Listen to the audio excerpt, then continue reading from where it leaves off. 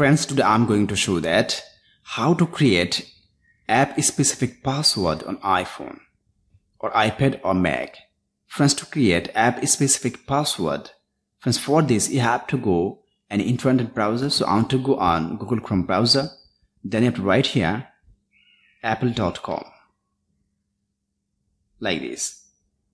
After writing apple.com, you can tap on go. Friends, Friends, you can make the settings from Mac or iPad also. After that, my friends, you have to scroll down all the way and you'll find here account.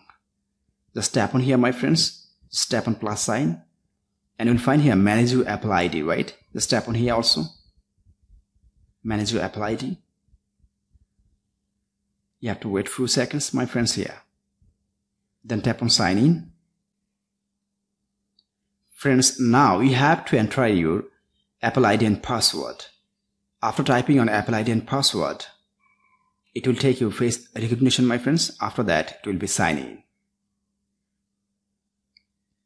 Wait few seconds here, my friends.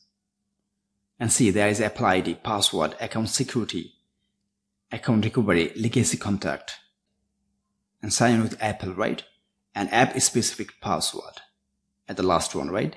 Just simply, my friends, to tap on here on triple dot. Here, when you will type on app specific password here, it will ask you to type a username. After typing a username, you have to type a new password. Like this, my friends, you can create app specific password like this. See my friends, I have created app specific password for my phone and Facebook and also the TikTok, right? So friends like this, if you want, you can make it.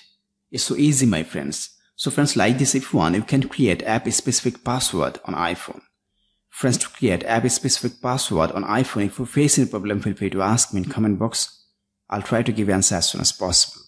Friends, if this video helpful to you, please like, share, comment, and especially subscribe my YouTube channel and press the bell icon to get next video notifications. Thank you for watching.